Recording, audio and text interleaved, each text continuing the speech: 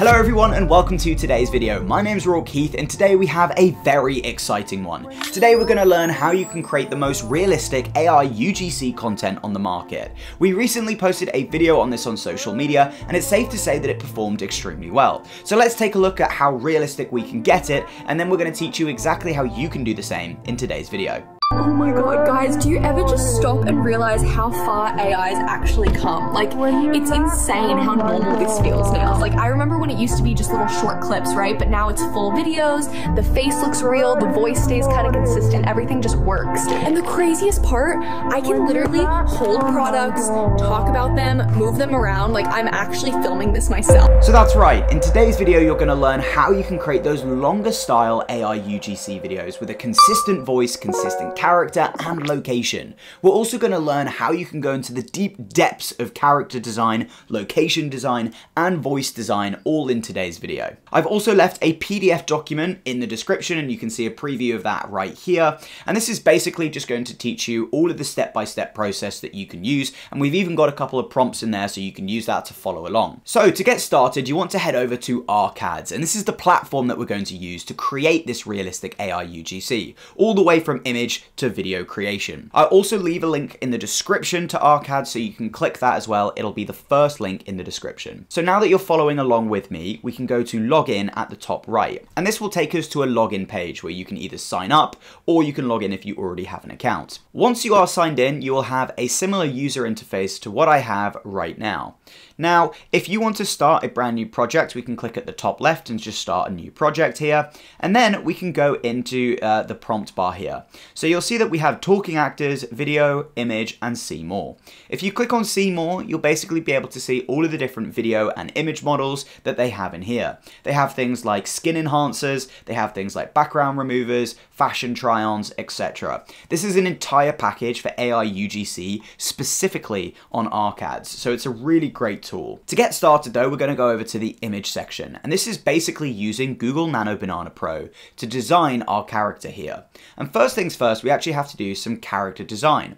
Now, I like to use Pinterest and try and find characters that I, you know, first of all, like the location of, or the style, for example, um, and I actually really like this image here. So if I wanted to recreate something similar, we can go ahead and download this image, and then we can use our own custom uh, prompt builder. And I'm going to show you one that we actually have inside GenHQ. This is my creative AI education platform. We've got 1.2 thousand members in it, and we essentially teach people all the best creative AI education. Now in here, we actually have a resource which is a prompt uh, like an image prompt helper. And this is a large language model that we've trained based on specific data, which will give you the perfect prompt structure. So what you can do is you can upload any image that you have into this large language model. And then um, when you hit submit, it will extract all of that data in a really nice formulaic prompt.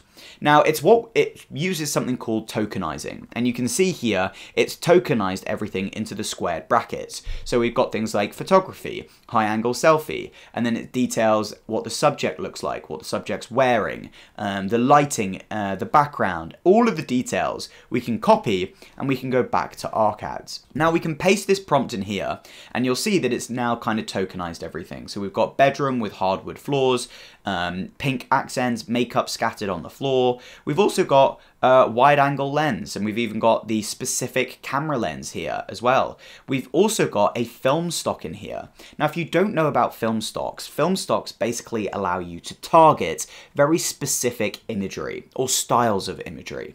And it's something that we call latent space. And I'm going to introduce this concept to you now because when you generate images or videos, all of these video models and image models are basically trained on a bunch of different data.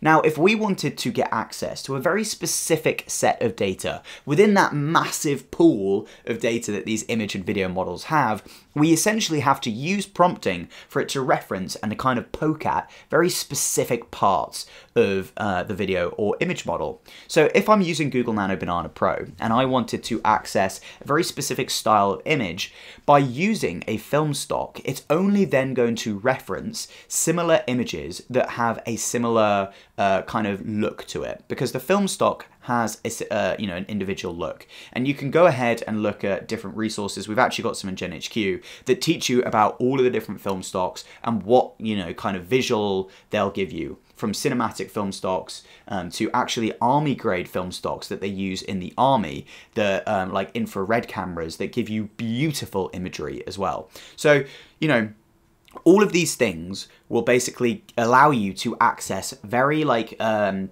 like small parts of the data in in the whole uh, image model. This will basically just poke and target at very specific parts of the image model. So this one is going to poke at the Kodak, um, you know, the Kodak Portra 400 image stock here, and by doing so, we're basically tapping into this very small bit of data here. So it's now just going to pull images and references from that small section. So now it's uh, going to give us a very specific look to our image.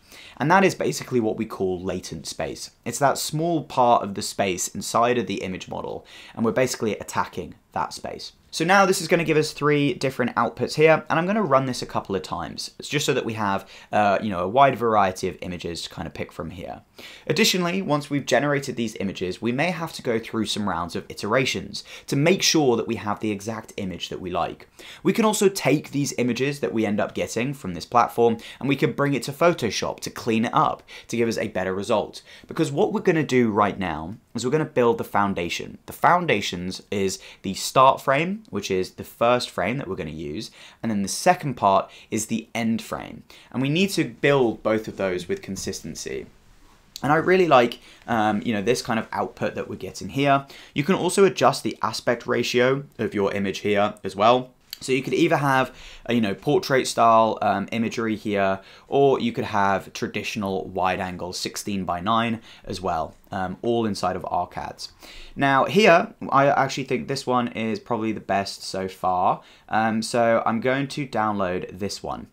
Now, this is what we are going to call our hero image. So I'm going to upload this image back into um, our prompt bar here.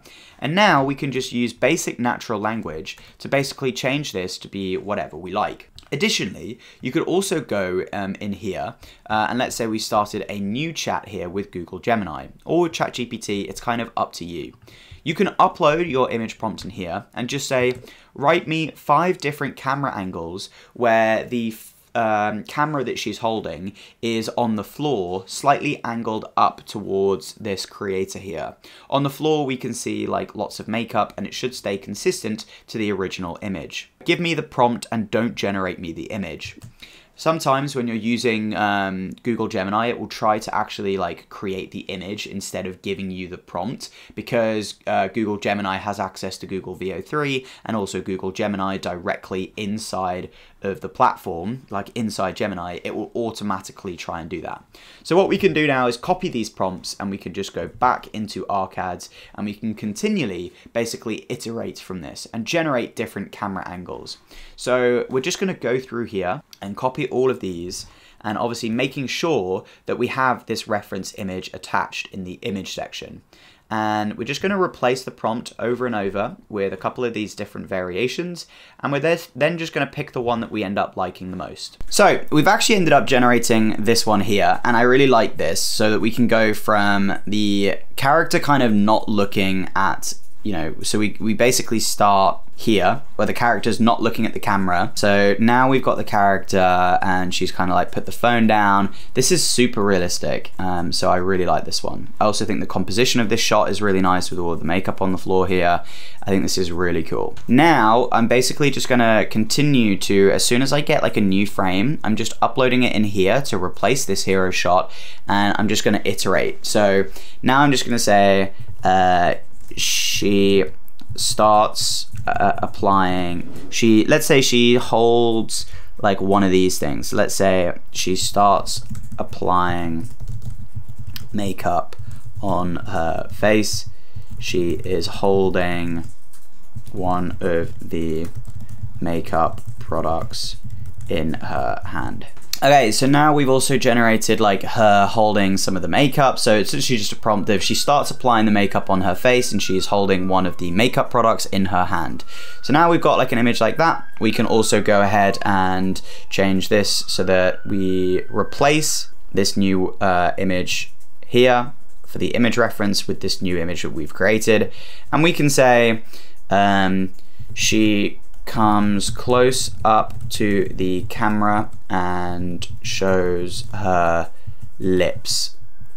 Okay, so now we have all of our images, right? So if we take a look here, we've got basically from this uh, to this, to this, to this, to this. So now we have all of our image assets and we're happy with them. We can now go to the video section. Now in here, or you can go to see more. If you click on see more, we're looking for Google Veo 3.1, which is down here.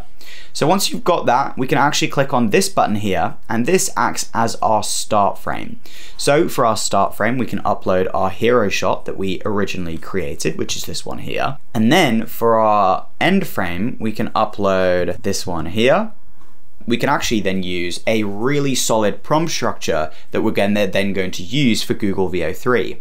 Now, inside GenHQ, we actually have a perfect prompt structure that you can access for Google Veo 3.1 and I'll show it for you here as well. So in here we have the perfect prompt structure in the resources and you will find this Google Doc.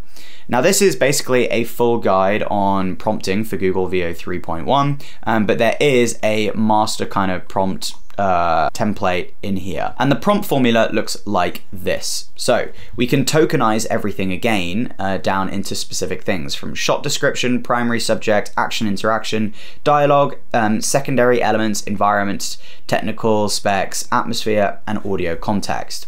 Now you can go back into your large language model here, for example, and paste this in and just say, this is the template for a prompt that I would like you to help me write for Google Veo 3.1. I don't want you to create a video, but I want you to help me write a good prompt. Now with this, um, I would like to then say, uh, exactly what I would like to happen in between these two frames here. So here we have the lady who's holding the iPhone on the selfie camera, and then we need her to put it down in front of her, right? So that's what we're gonna tell uh, this to do. I would like you to write a prompt where this female actress in her like mid 20s who has a southern SoCal Californian accent um, and it's slightly deeper than than usual. Um, be specific about like her accent so that we can create reputable accents throughout every single prompt. Um, she is holding the camera on the phone and she places it down in front of her. She then covers her mouth, um, and while she's doing all of that, she's talking to the camera and she's saying, Oh my god, guys, you won't believe what I've just figured out how to do. It's insane. So now it's going to take that prompt structure and then it's going to write everything out for us. And you can see here it says formulating prompt strategy, prompt strategy, and we can see what it's trying to do on the back end right here. Now I will also leave in the description the prompt structure that we use for um, our video, like the video structure for Google Veo 3, so you can also go and access that. So now you can paste your prompt into the Arcads prompt bar like this, and you can just hit generate.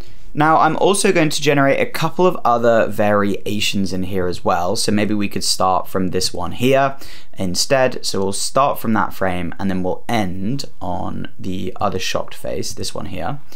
And then we could, we'll just do a manual prompt one as well. Okay, so here is our output. Check this out. Oh my god.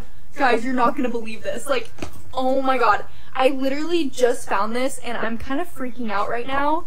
Okay, so that's really solid. So what we can do is we can download that and we can then go into Premiere Pro and we can just add that in. Now, obviously at the very start here, her eyes are totally messed up. So we can just simply skip in and skip this first part here.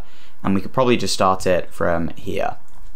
Guys, you're not gonna believe this. Like, oh my god. I literally just found this and I'm kind of freaking out right now. So we've also done a couple more generations just because I noticed at the very end, you'll see here, it cuts from here to here in like a weird like hard cut because it's trying to get to that end frame that we provided it. And in order for us to get like really seamless videos, we actually have to make sure that the end of the video is the seamless part so that it can run. We can basically run our start frame and make sure that it runs seamlessly. And that is essentially all you have to do in order to build up your narrative. You can use start and end frame. So what if we now wanted to actually generate an image and then actually control this character like you can see right here? Well, I'm going to show you how we can do that all inside of Arcads as well. So if you go into the see more section in here, you'll see that they've now newly added Kling 2.6 motion control. And that's because I was talking with Roman, who's the CEO, and he actually added this after we recommended it, which is great. It's as simple as adding your reference video in here and adding in a reference image in here. And then we can simply run this like so. And my best advice for this, by the way, is actually generate your image first. And once you've got the image and the composition you're happy with, then you simply start recording your own video in a similar composition structure to whatever your image is. It's pretty damn impressive, right? So we can create images of our characters and we can actually style transfer over the motion of them as well. And that's everything you need to know about creating super realistic AI UGC actors. You can also do things like adding in Snapchat filters and things like that to make them look even more realistic if you wanted to, like we did on this social video here. So if you want access to all of the resources, you can find them in the description. You'll also find a link to Arcads as well, so you can try it out for yourself. And if you have any questions at all, you can always join GenHQ where we offer one-to-one -one mentoring with anything that you may need. Hopefully you've enjoyed this one and I'll see you guys in the next one.